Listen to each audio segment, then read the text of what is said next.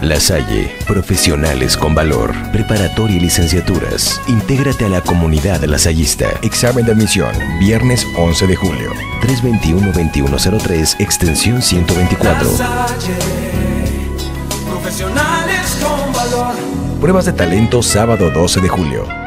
El coordinador de la bancada del PAN en el Congreso del Estado, Sergio Benítez, informó ya es responsabilidad del propio Instituto Nacional Electoral, INE, revisar que no ingresen recursos de procedencia ilícita a las campañas de aspirantes a buscar un cargo de elección popular.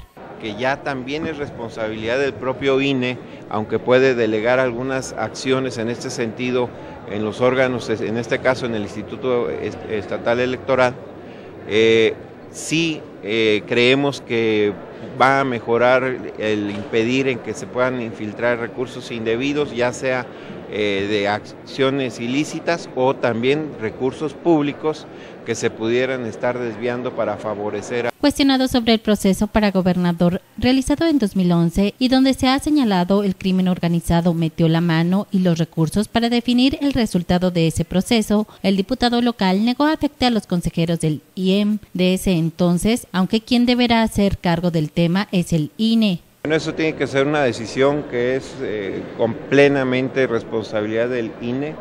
Eh, nosotros tenemos confianza en los consejeros que forman parte del Instituto Electoral de Michoacán. Yo creo que, no, que se trata, eh, ellos toman las decisiones en base a los elementos que les son presentados. Y... Benítez Suárez dijo que desconoce cuál será el actuar del INE respecto al nombramiento de consejeros. Con información de Felipe Bárcenas, informa Cuasar TV.